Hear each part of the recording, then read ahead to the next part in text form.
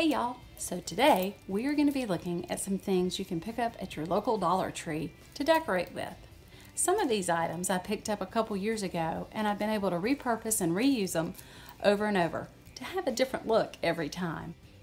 So I hope you'll join me as we look at some of these fun and creative decorating ideas.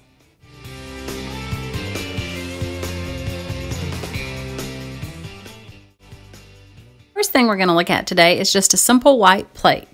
I've used it in my plate rack and I also use it on my table. This plate rack originally was gold and I spray painted it uh, because I wanted it for the spring season so I did it in a blue. And here we have the white plate on a blue charger. The blue charger was originally a gold charger that I spray painted blue.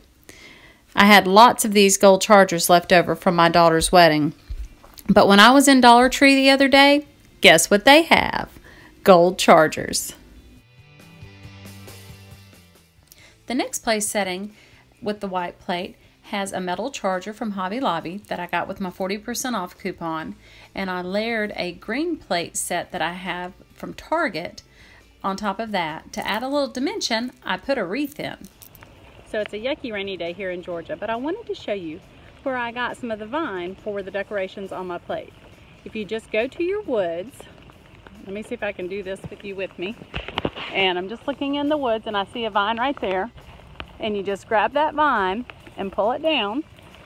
And maybe you don't have a wood, any woods near you, but go to your grandma's house or maybe a, a family member has some acreage and you can just find um, vines in the woods or sometimes I use the vines from my wisteria. So if you've got a wisteria plant, you could do that too.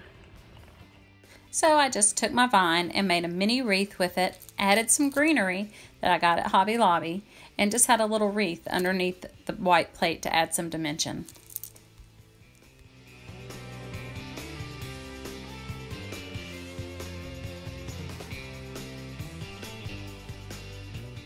Next is a metal plant holder from the dollar store. Years ago, my friend and neighbor gave me a hydrangea plant.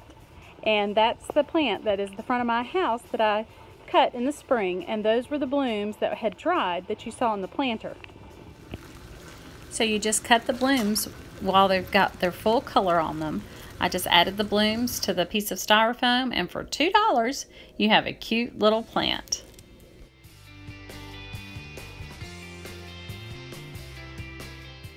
Next, I wanted to show you the cute bins that I got this year. I'm going to be redoing my pantry and I came across these bins and thought I could really use them. Last, I wanted to show you the cute set of coasters that I got there. My coasters looked terrible, so I thought it was time to replace them. For a dollar each, you can't beat that.